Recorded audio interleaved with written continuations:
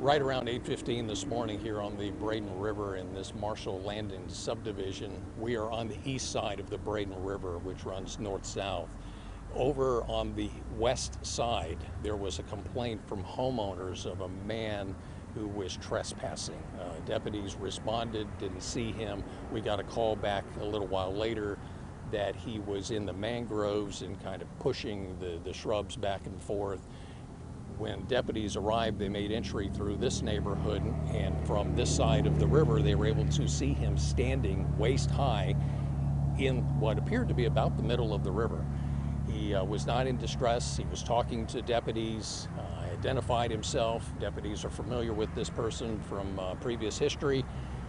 He then was encouraged to just make his way to the deputies over on the dock. The deputies are in the process uh, preparing themselves to go into the water and also securing a boat.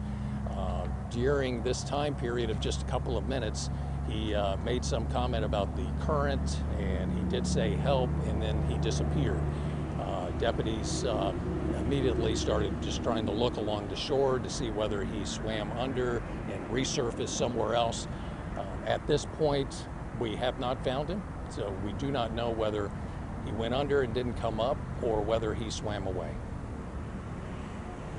Had he been in some recent trouble that he would be going back to jail? He was aware of the fact that the neighbors over there were wanting to have him trespassed. We would assume he knew that. He did mention that he didn't want to go to jail.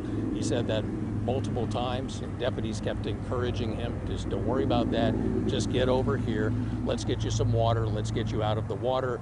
Uh, there are gators in here. It's just not safe for him to be, you know, in this water without any kind of flotation device. Um, neighbors say that uh, a portion of this area here is fairly shallow, and it was because he was standing just waist high about the middle of the river from what the deputies could see from their vantage point. He live in the area or was he just here? I'm not familiar where his actual address is. It's uh, possible that he does have family not far from here off State Road 70. Obviously, you said deputies know him. I mean, is, does he have a violent past? This person, um, who we're not going to positively identify right now, uh, but but just based on him talking to the deputies, he disclosed his name. Uh, there is a criminal history there, yes. It has to be hard for deputies when they're so close trying to talk him back to shore, trying to. Yeah, they're, they're, they're responding to this trespassing call and then they're making eye contact with him. They're doing everything they can to encourage him to get out of the water.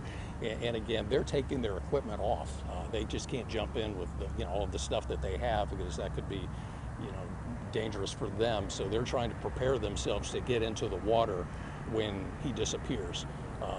He did not seem to be in distress right up to the point where he said uh, there's a current help and then that was the last communication uh, we had with him. But prior to that he seemed completely relaxed and was not uh, in distress. And when he said that, he was standing in just the waist deep water? he was standing uh, about waist deep.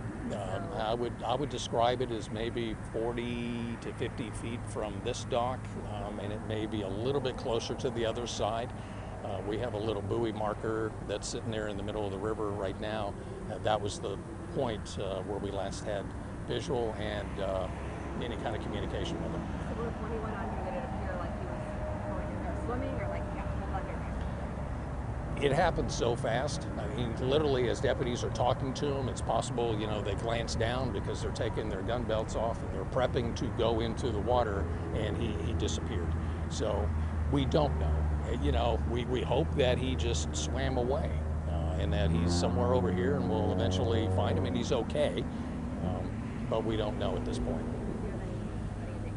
We are using our drone team right now to do some aerial, um, and we have the dive team that's here. Uh, there are boats that are in the river right now, some fire rescue. So we're doing everything we can to try to locate him in this area, figuring that he would have gone straight to the mangroves on that side or on this side. Um, at some point, we'll we'll go deeper and uh, and start looking to see, you know, hopefully not, uh, but maybe a body is actually in the river. Can you speak to just, I mean, is there any concern of wildlife? I mean, gators, just because of the way he was standing any fresh water in Florida, there's always that danger of, of alligators, and there was an alligator spotted in this area um, earlier today.